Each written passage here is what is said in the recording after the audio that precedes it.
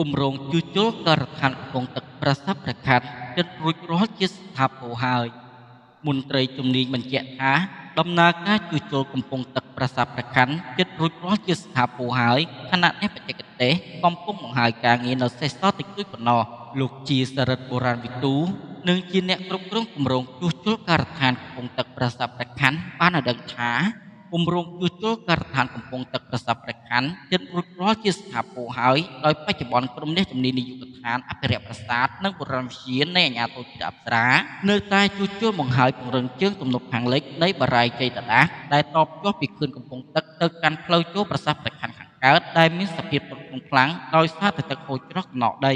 លោកបានបន្តទៀតថាក្រមការងារកំពុងតែមមាញឹកការស្ដារកំណកដីពីផ្លូវចូលខាងកើតហើយយកទៅចាក់បិទគប់ទំនប់បារាយចេតតាក់ដើម្បីបំពេញត្រង់ចំណុចដែលបាក់ស្រុតដោយសារទឹកហូរច្រោះឲ្យឃើញនៅរូបរាងដើមឡើងវិញនៅខឿនខាងកើតមានជណ្ដើរ3ទិសទី1ចោះទៅខាងកើតត្រង់ទី2ចោះមកខាងត្បូងនិងខាងជើងដែលមុនជួសជុលយើងឃើញស្ថានភាពវាទ្រុឌទ្រោមដោយសារបាក់ដីការហូរដីចេញដោយសារអី ដោយសារពេលដែលគេដកថ្មជញ្ជាំងអំពីថ្មភក់បាត់អស់ទៅធ្វើឲ្យទឹកមានឱកាសបានហូរនាំដីចេញធ្វើឲ្យខឿនធ្លាក់ចុះក្រោមអញ្ចឹងយើងបានលើកត្រឡប់មកវិញអាចមើលឃើញបានខ្លះ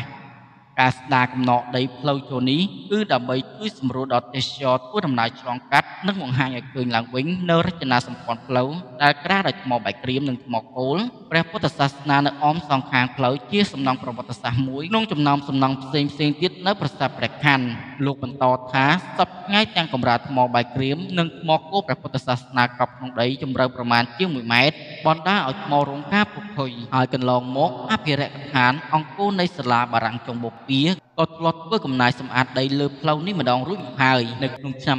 2023នេះយើងបានបញ្ចប់ដំណាក់កាលទី2ដែលជួសជុលខឿនផ្នែកខាងកើតគឺនៅក្នុងបារាយហើយមកដល់បច្ចុប្បន្ននេះខឿនខាងកើតគឺយើងបានសម្រេច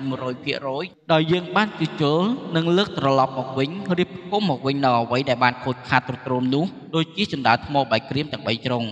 លោកជាសរិទ្ធបុរាណវិទូបានបញ្ជាក់ថាបន្ទាប់ពីបញ្ចប់ការជួសជុលដំណាក់កាលទី1និងទី2 នៃការជួសជុលកំពង់ទឹកអាជ្ញាធរជាតិអប្សរានឹងបន្តការងារជួសជុលពង្រឹងទំនប់ខាងលិចជាប់ទៅនឹងផ្លូវចូលខាងកើតនៃប្រាសាទព្រះខ័នដែលកំពុងតែមានសភាពទ្រុឌទ្រោមខ្លាំងដោយសារទឹកហូរច្រោះនាំដីពីទំនប់ទៅចាក់បង្គោលនៅលើផ្លូវចូលខាងកើតនៃប្រាសាទនេះ